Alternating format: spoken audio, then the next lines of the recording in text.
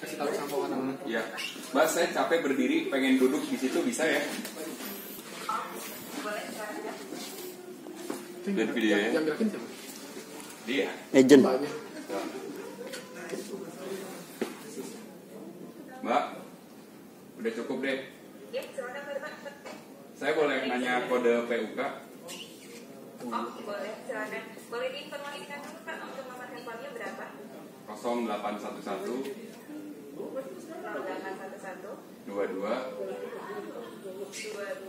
88 88 Ini 793. suara lancar ya 793 ya.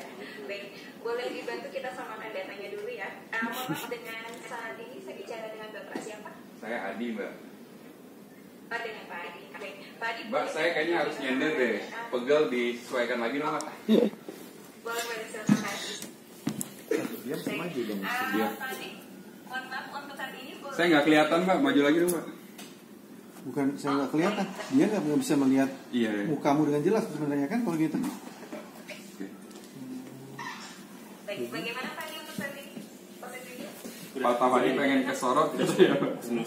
Baik karena karena dia Nah, artinya si si agent udah harus dibiasakan dia juga kira-kira tampilan di layar itu pelanggan Teman saya ada ada pertanyaan yang juga teman saya bisa kayak tadi ya. Nah, kadang- boleh, silakan. kadang-kadang kalau terlampau jauh kan sebenarnya kalau bicara kayak gini dibantu dengan orang baca lips kan. Ini nggak jelas. Kalau makanya kalau suara kita jelas nih. Oke. Suaranya terdengar jelas Pak. Sama satu lagi, buat tampilan sebaiknya rambutnya tuh di agak rapi.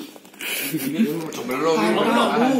belum belum Belum ya? Oh ini nanti dimerah-merahin. gitu. Ini dari ruangan. Ini didandani ntar ini. Jadi idealnya sih menurut aku sih gambar